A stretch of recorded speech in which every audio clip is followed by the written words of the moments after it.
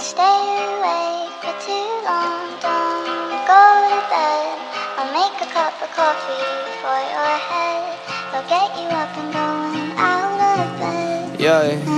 I don't wanna fall asleep, I don't wanna pass away. I've been thinking of our future cause I'll never see those days. I don't know why this has happened but I probably deserve it. I tried to do my best but you know that I'm not perfect. I've been praying for forgiveness, you've been praying for my health.